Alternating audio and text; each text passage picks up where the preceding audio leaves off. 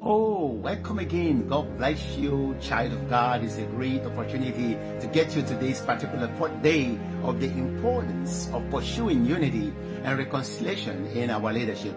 Ephesians chapter 4, verse 3. We are urged to make every effort, you and myself, to keep the unity of the Spirit through the bond of peace.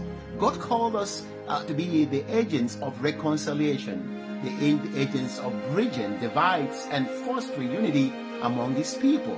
I want you to consider uh, Nelson Mandela, a visionary leader who championed reconciliation and forgiveness in a post-apartheid South Africa. Despite the, uh, the fears of imprisonment and oppression, his commitment to unity and reconciliation helped heal a nation. So today, let us commit to pursuing unity and reconciliation in our relationships and communities. You seeking to build bridges rather than walls. I call the action today for you to do extend forgiveness to someone who have wronged you, wronged me, and seek reconciliation where there is division. May the Lord strengthen you as you step in into this position. May the Lord impact you. May His grace never depart from you. May you you peace. Stand with us again tomorrow and share this teaching at least about 15 people. God bless you. Love you. See you tomorrow.